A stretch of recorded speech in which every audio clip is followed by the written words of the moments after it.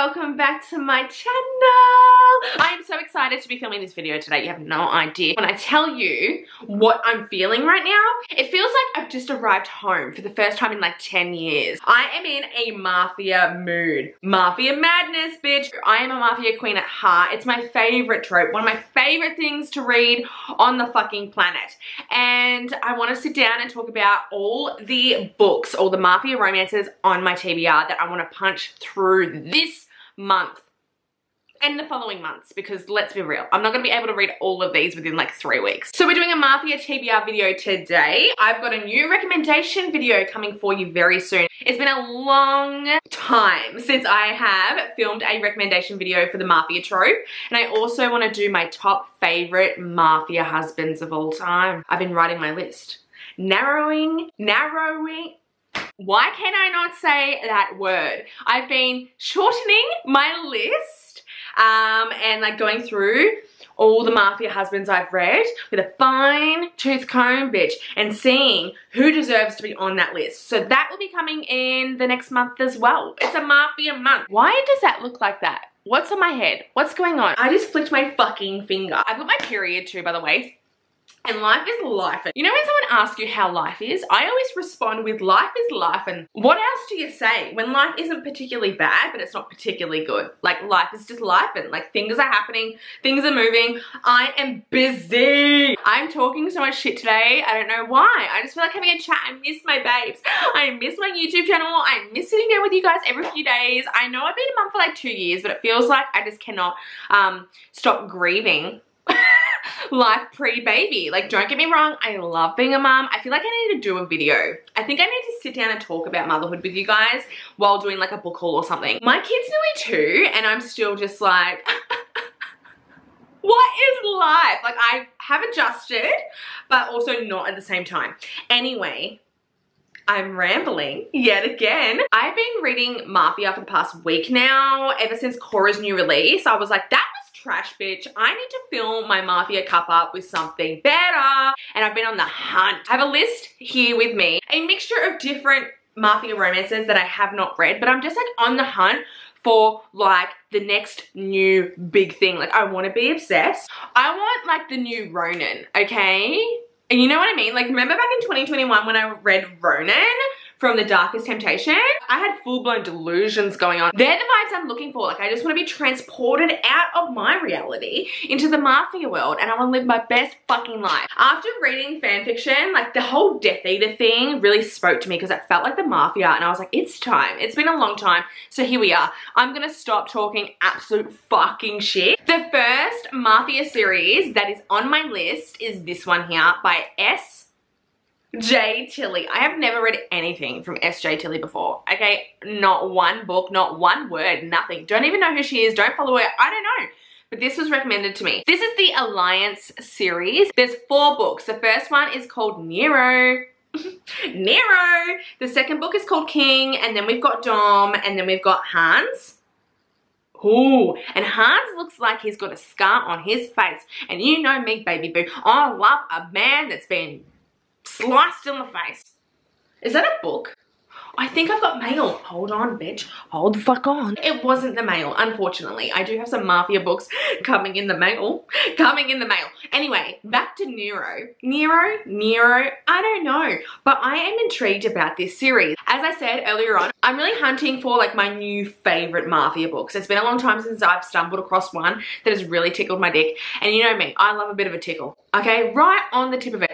And I just want to be transported into the Mafia world and have a good fucking time and feel like I'm a Mafia princess. Okay, that's what I feel. That's what I want. That's what I love. Now, I don't know if Nero Nero.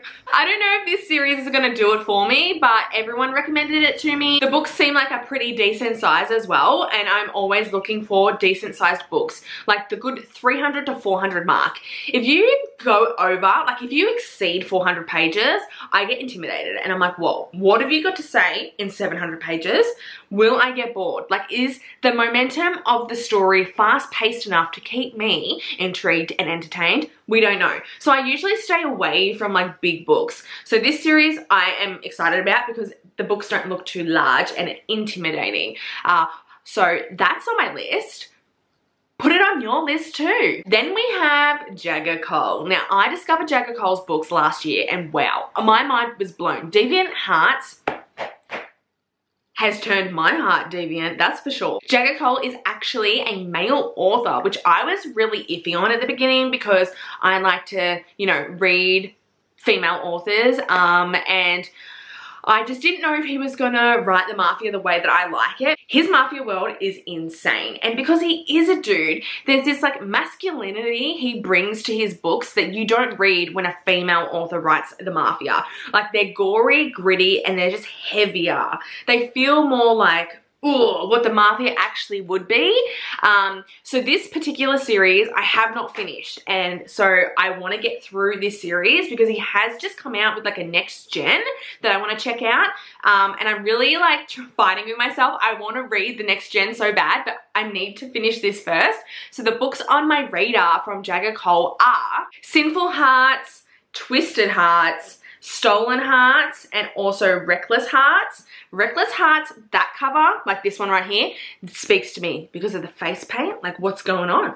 What's going on, my Mafia made man? What are you doing, boo? And the first book in his Next Gen series, I think it's Next Gen. I could be wrong, don't quote me, is Toxic Love. When I read Jagger like the first time, because I have read two books from him, I just felt like I don't know, euphoric. It was just like, oh, this is really good mafia, decent plot, plot twist. Sex is insane, chemistry is there. It's gritty, it's dark. I love darkness, baby. You know I'm a dark romance reader. I will like forever choose the darkness over the light.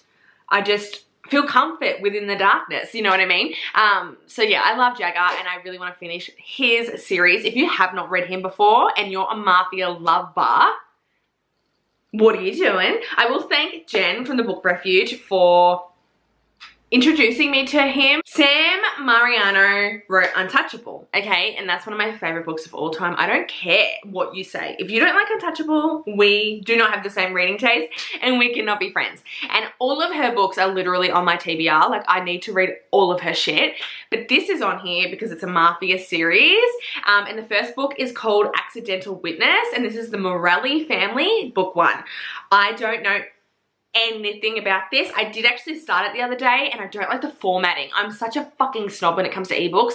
If the formatting is off, I struggle to read it. I will say fanfiction actually helped me kind of like get rid of that ick I had because obviously with fanfiction, a lot of the time the formatting isn't perfect, um, but I really want to read this. Apparently it's fast paced, twists and turns, really wild, really good, but fuck wild. And you know me, I love wild romances. I just like wild dark shit. I want to be on the edge of my fucking seat. I don't want to know what's going on. I want to be like, what the fuck? How did you think of that? Like I want to be Delulu the entire fucking time I'm reading a romance and especially if it's Mafia. So that's why this is on the list because I've heard through the grapevine that it's fucking buck wild, baby. We've got Distance by Luna Mason, and this is book one in Beneath the Mask series. I was excited about this. This entire series, I really liked the covers. Um, but then I started reading reviews, and I shouldn't have done that. The reviews on Goodreads are bad, like really bad. Like really, really bad. So let me know in the comments below if you've read this series. Please convince me if I should or not because after reading the reviews, I was kind of put off it. And I was like, oh, I don't know, baby. I don't know. I usually don't go off reviews I read, like, because sometimes people hate the books that I like. So oftentimes I don't tend to take on reviews wholeheartedly, but because there was so many bad reviews, I was like, okay, maybe this is actually trash. Don't know. But, um, it's a series. There's plenty of books. I don't know nothing about it. Okay, so we got distance, detonate, detonate. What? Detonate, like detonate a bomb? Is that how you pronounce it? Who the fuck can speak English? Not me. And it's the only language I can speak. Uh, we've also got devoted and detained. So there's four books within the series. So we're gonna check it out possibly. You have to convince me, okay? That's your job at the end of this video. If you've read this and it's good, let me the fuck know. Um, because if you're saying it's good, then maybe I will check it out. But those reviews, as I said, were terrible, baby. They were so bloody bad. They were so bloody bad. Now there's just some random ones. Just like so random, like random AF. Ones that you guys had recommended to me via Instagram and also in the comments of my last video. So we have Soldier of Death, and this is the Shadows of Redemption series, book one. Um, apparently, from what I've gathered from the DM that you, one of you, sent me, it's about this girl who's trying to get out of an arranged marriage. She's a mafia princess, so she sells her virginity to another mafia dude to get out of this marriage, and then he like captures her or something. I could be wrong. I'm just trying to remember the DM off the top of my head. Um, so that sounds different. That's the thing, though, like I'm looking for different shit. The sun is ruining me. Look, you can see the sun. Anyway, I'm looking for different shit because Mafia is so regurgitated at this point. Like, if I read another fucking arranged marriage with a bitch is a virgin and she's like, oh my god, he's a bad man. Like, as if you care. Like, as if you didn't know already. Like, you're a mafia princess. You've been trained for this. Don't lie to me. Don't lie to me. I'm just looking for absolute baddies. Like, when it comes to my female MCs, like, I want them to be baddies. I want badass bitches that are powerful. Like, Melody from Ruthless People. Do you remember that series? Ah! Oh, that was one of the first Mafia series that I ever read, and it took me on a journey to say the least. It was a fucking journey. Now, Melody's personality was a bit much, okay? I want powerful women kind of like her, but a little less. Like, can we dim it a bit? Because that was that was a lot, though I loved her female character. I do just want women that are like in touch with their sexuality. They're like feeling their oats, baby. They're like confident and they're ready to play the mafia game with their husbands, boyfriends, bodyguards, I don't know. But they're ready to like be the chess player okay? They're gonna be the kings. I want female kings. This here, which I'm very intrigued about, and it's Slay by Abbi Glines. Now, apparently this is like Yellowstone meets the Mafia. I love Yellowstone, okay? One of my favorite shows. Beth? Beth. That's all got to say. Beth? Yeah, she is the baddest bee on this planet. I want women like that in my romances. Like, come on, baby. You know, like, I really want someone like that. Anyway, I'm intrigued about this because, as I said, I like Yellowstone and I feel like that's something different. And that's what I'm searching for. I want something new, fresh, something I haven't read before, something that's gonna keep me entertained, add something new to the table because, you know, let's be real here. Romance is so popular right now. People are writing romances left, right, and center. There's new authors. There's just, there's such an oversaturation and influx of um, romance books that everything's kind of blurring together, all right? You need to like filter through all the books to find the good ones. And for your book to stand out, you need it to be different and something completely fresh and new.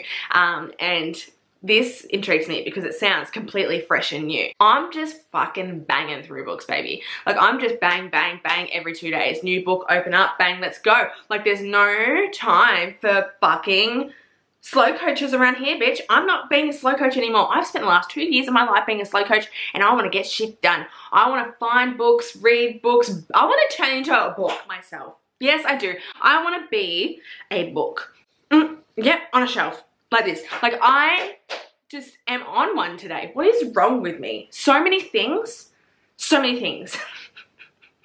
Thank you guys so much for watching. Thank you for keeping up with my chaos. Um, yeah, let me know in the comments below if you have any recommendations, if you read any of these. Give me your thoughts, feelings, and emotions. Have you guys read the new Cora Reilly book? I'll leave my um, latest review on that. I'm still reeling about it, bitch. I hope you guys have a wonderful day wherever you are. Thank you so much for watching and sticking around with me. It means the world to me. Um, and I'll see you as soon as I can see you. Like next week or something. Bye.